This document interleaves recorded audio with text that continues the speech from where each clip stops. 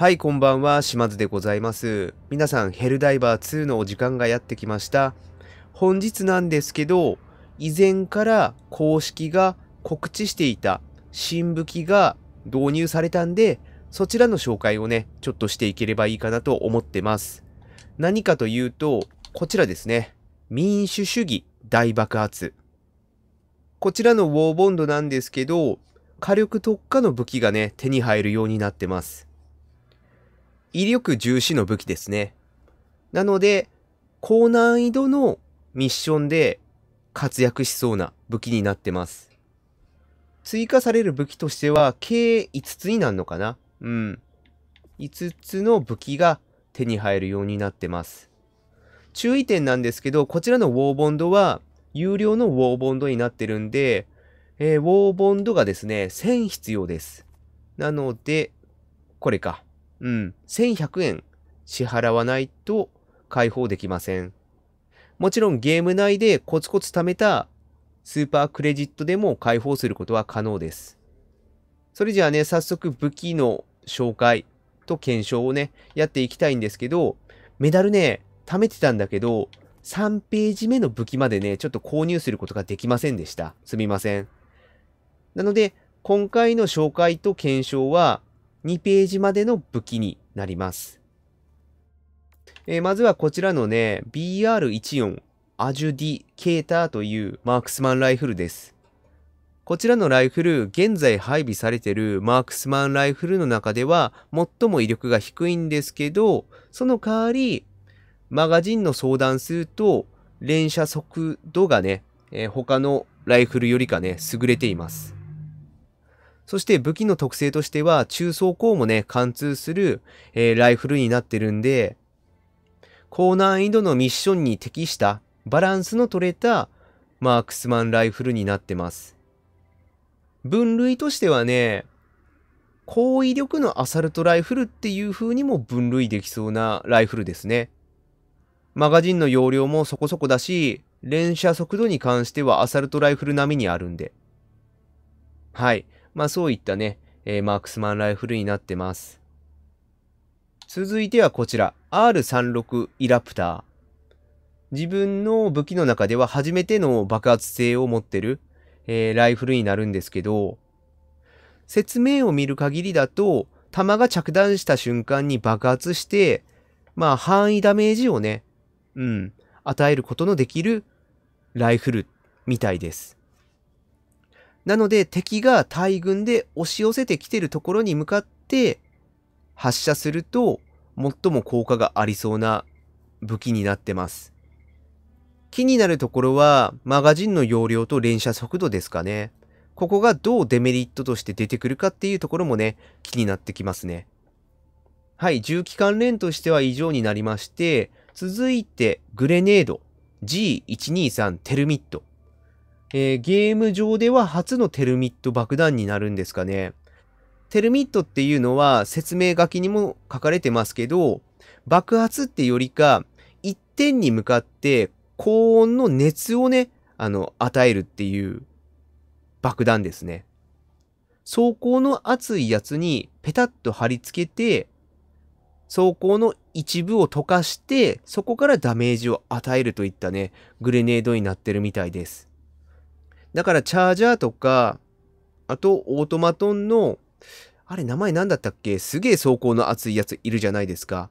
あいつらに、そうだね、使える適した、えー、グレネードになってるみたい。果たしてね、使い心地はいかがなものでしょうか？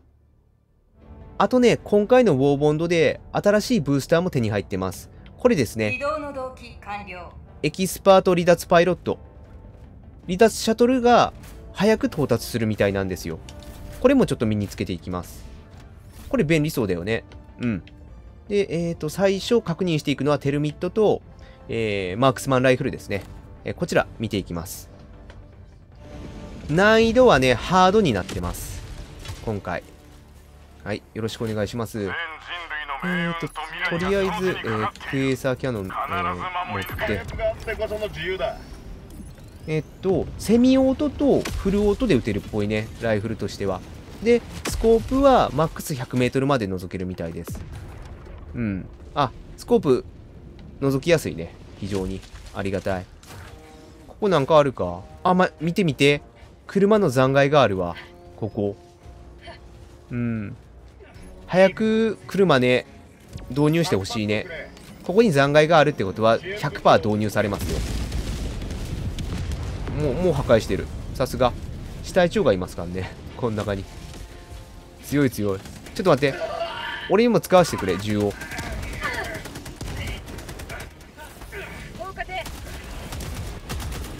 うん。あの、フルオートで撃ってますけどね。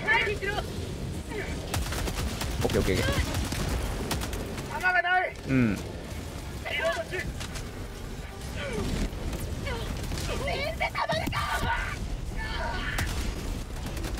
やっぱこいつの走行は抜けないっぽいね。で、今フルオートで撃ってるけど、反動もそこまで大きくなくて、扱いやすい。個人的にはね、とても、そうだね、使い勝手がいい銃かなって思いますね、これ。うん、全然当たる。見て、ここ氷の惑星だからツルツル滑るわ。いいね、この表現。個人的に好き。うん。走行の熱いロボ出てくっかね出てきたら、ちょっとテルミット試してみたいけど。ロボット北西吹雪いてきたね。テルミットどうだうん、ちょっと、あの、威力確認する前になくなっちゃったね。残念。で、ファブリケー、ちょっと、ちょっと、ちょっとファブリケーターやらして、俺に。登れるか、これ。登れ。ちょっと待って。無理か。あ、でも、こっから入る？いくよ。はい。あ、ダメだ。張り付いちゃうから、中に入んないわ。うん。テルミッドの欠点はファブリケーター系を破壊するのはちょっと難しいかなって感じ。だね。待ってね。入ったか？入ったかも？入った入った入った。中でやってる。中でダメージ入ってるわ。あ、待って。どうだ？破壊できるか？あ、破壊できた破壊できたみんな。うん。地球増援を頼む多分自分の今テルミットだと思うテルミットの特徴としては最初こう燃焼効果でダメージを徐々に与えていくけど最終的には爆発するみたいだよねなのでまあ中に放り込むのはちょっと細かい調整が必要ですけど張り付いちゃうからテルミットでもファブリケーターを破壊することはできますデカブツいるあ、いたいたいた。じゃあ、行くよ。はい。減った。燃焼入ってる？ででで。燃焼入ってるね。燃焼入ってる、燃焼入ってる。チリチリしてるわ。いったいったいったいった。いった。行きました、行きました。パッケージを回収した他のグレネードと違って、ペタって貼り付くから、ロボが爆発の範囲外に出て、ダメージをフルフル受けないっていうこともないから、そういった点で便利ですね。腰打ちはね、結構ブレますね。うん。至近距離なら問題ないけど、遠距離戦は、遠距離、中距離はね、なかなか狙いづらいかもしれない。だからスコープを除くのが一番ですね。えーっと、何すんだ？ドライブか。ちょっと待って。この距離ならね、うん。全然腰打ちでもいいね。あ、戦車来てる、戦車来てる。戦車にテルミット効くか？急所狙えばどうにかなるかもね。待ってね。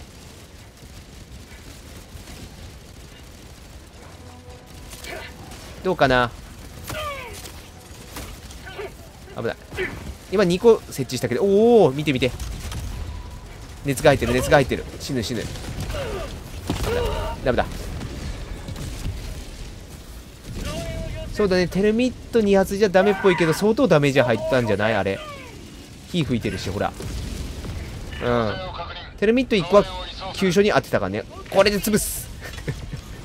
これで潰す。あれ誰かいる？あ危ない危ない。もう。誰かイーグルストライク読んだね。さあ戦車来ました。任せ。ていてい。てい。3個あれば十分じゃね？あいい1個弾け飛んだ。理由は何があろうと止まらない1個弾け飛んじゃったどうだ？まあ今機動攻撃のおかげもあったかもしれないけど相当3個でダメージ入るね。さあどれだけブースターの効果で短縮されてるでしょうか？OK 何分？ああね。ハードだったら2分だからえー、っと20秒ぐらい短縮されたかな。大体ね。エクストリームとか、ね、この上の難易度になってきたら、また、脱出するまでの秒数っていうのが増えるから、それに合わせてどれだけね、短縮されるか、非常に楽しみですね。もしかしたらね、うん、一律20秒かもしれないけど。はい、それじゃあね、次は、こちらの、えっと、イラプターをね、使ってみたいと思います。ミッションはここ最近追加された防衛ミッションですね。施設を守るやつ。ミサイルが撃ち終わるまで。まとりあえず軌道だけさしといて、で、軽くまあ準備していきましょうか。えっ、と、射撃はセミオート。そうだよね、ボルトアクションライフルだからね。セミオートのみで、射撃距離のスコープはマックス200まで、うん、伸ばすことが可能です。あー、かなりあの、ズームできますね。まあでも、今回近接なんで、そうだね、50メートルでやりましょうか。あ、しまった。危ない危ない。ちょまずいまずいまずいこれこれこれはまずい来たねこの時点ではダメージ入んねえか。さすがに。あこっちに来た。オッケーオッケーオッケー。さあいらっしゃい。オッケー。オッケー。オッケー。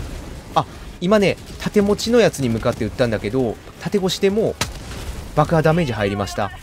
うん。これはでかい発見ですね。壊された。まずいまずいまずい。待ってね俺がやる。ほら縦越しでも入る。オッケーオッケーオッケー。あ縦も破壊できますね。この銃なら。待って。危ない危ない危ない。ちょっと引こうか。開いちゃったよこっち。いいですね。走行も貫通できる爆発能力を持ってて。うん。OK 入ったね。弾は弾かれてる感じだけど実際のとこ爆発ダメージは入ってるっぽいね。うん着弾と同時に爆発してるから。で二足歩行はどうだ？二足歩行にもダメージ入ってる。あダウンしたダウンした。あダウンしたダウンした。みんな。二足歩行の走行越しに弾が着弾したら爆発ダメージで倒せました。強いなこれ。はい二足。バーン。お。2体まとめてやれた。今自分のが着弾したと同時にダウンしましたよね。もう1体の二足歩行も。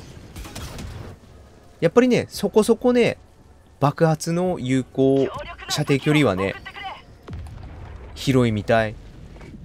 あここも破れたね。もうもう行こうかこっち。はい。うーね一般歩兵がもう一気に粉々になりましたよ。やば。最上級の重量ロボに関してはどうですかね。おい気持ちいいな。おい。来た来た来た。どうかな。ああおいやばいやばい。嘘嘘。ごめんなさい嘘。くそ 誤爆しちゃった。そいつにちょっと当てたいね。爆破ダメージが入るかちょっと確認したい。しまったな。今今のはちょっと ミスったね。まだいる？あいたいたいたいた。どうかな？うん。あのね弾は貫通してないけど爆発ダメージは入ってるわ。見て見て火花散ってるわ。一応ダメージは入ってる。ダメージは入ってる。うん少なからず。頼む。腕ぐらい壊れてくれ。腕は壊れんか、まあ、ダメージが入ってることは確認できたね。うん。走行越しに。ただすごいダメージが入ってるってわけではない。うん。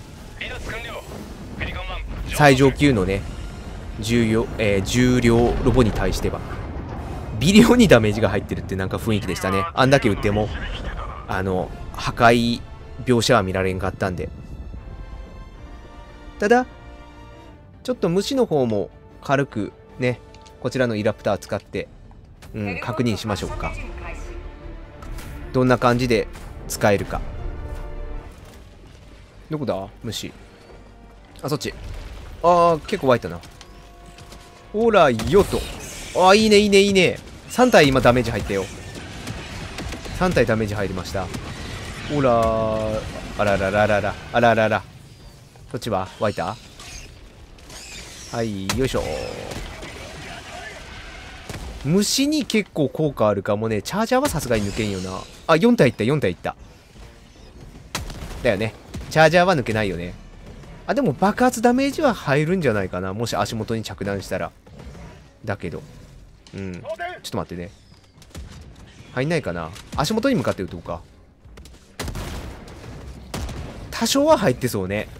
あそうだ。テルミットテルミット。テルミット使います。テルミットあ刺さったどうだ？ああいってるいってるいってる。じりじりいってるよ。いやちょっと来ないで。それ爆発するから最終的に。走行がねうん。励ましたね。そうですね。テルミットをくっつけたところ走行が励ましたね。なのでそこからねえっ、ー、と実弾とかで徐々にダメージを与えていくっていうこともできるみたいです。これはあそうかライトついてないのか。夜には向かない武器ですね。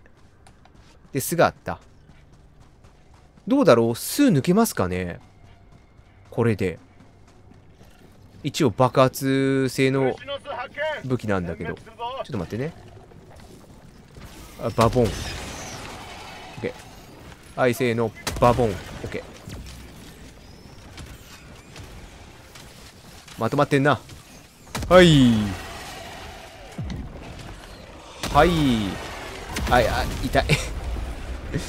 近かったみたいね。ダメージがめっちゃ入った。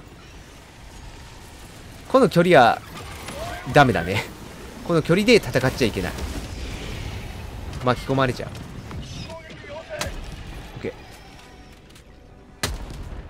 爆発ダメージは入ってるねうん爆発ダメージ入ってるわ OK はい貫通はしてないけど、うん、チャージャーにも、チャージャーにもね、爆発ダメージだけは入ってるっぽい。だからまあ最終的には倒せそうね。はい。いったいったいったいった。うん。そっち。てい。てい腰打ちでも十分だね。うん。命中させんじゃなくて爆発をね爆発ダメージを狙うっていう言うならやばオーライてーあれ？弾弾切れてる。ちょっと待って。あれだだだてオッケーていオッケー痛いはいいかがだったでしょうか？今回はですね、こちらの民主主義大爆発というね、えー、ウォーボンドの、えー、武器3種、そしてブースター1つね、えー、検証と紹介をさせてもらいました。個人的な感想としては、ライフルについてはですね、弾切れを起こしにくくて、また、近接戦闘になった時でも、強みの連射性を活かして、容易に制圧がうん、できる、とてもいいマークスマンライフルだと思いました。攻撃力に関してもマークスマンライフルの中では一番低いんですけど、だいたいアサルトライフルの1.5倍から2倍あるんで、敵を容易に制圧できる、うん、性能を持ってるライフルでした。次にテルミットの方ですけど、これがね、なかなか自分が想像していたよりかね、優秀なものだっていうことが分かりましたね。重装甲を持った敵に対して、最もね、効果を発揮するグレネードでした。そしてこちらのエキスパート離脱パイロットね。難易度が上がれば上がるほどね、待ち時間が短いと非常に助かるんで、これもなかなかいいブースターでした。そして最後にですけど、こちらのイラプターね。相談数は少なめなんですけど、まあ、高威力な爆発性のある弾が撃てるってことで、密集してれば、周りの敵に範囲ダメージも与えられますし、最上位の装甲を持ってる敵に対しては、ちょっと効果は、うん、あんまないかなって感じだったんですけど、その下ぐらいの装甲を持ってる。その下ぐらいの装甲を持ってる敵に対しては、装甲越しに爆発ダメージを与えて倒すことができるっていうのをね、確認できたんで、相談数と連射速度はネックなんですけど、なかなかいい銃だなっていうのを感じました。そしてターミニッドの方にもね、どんな感じでこれ使えるかなっていうので、軽く検証しに行ってきたんですけど、自分としてはね、オートマトンよりかね、ターミニッドの方で、このイラプターの性能をフルに活かせるんじゃないかなってね、思いました。オートマトンよりかね、ターミニッドの方が密集してね、あの、移動したり攻撃してきたりするからね。小型の虫に関しては一発でね、まとまってれば4、5体やれるっていうのも確認できたからすごく爽快でしたね。あとこれで虫の巣もね、破壊できるっていうところも、うん、有能だなと感じました。多分、オートマトンのファブリケーターも角度によっては破壊できると思います。急所の部分がね、上についてるから、下から狙うのはかなり難しいと思うんだけど、高所から狙えばね、容易に破壊できそうな気がしますよね。ちょっと今回ね、そこまでは確認しませんでしたけど、おそらくそうだと思われます。はい。ということで、えー、本日はここまでにしておきたいと思います。よかったらね、参考にしてみてください。それでは島津のヘルダイバー2になりました。失礼させていただきます。バイバイ。チャンネル登録、コメント、高評価していただけると励みになります。ご視聴ありがとうございました。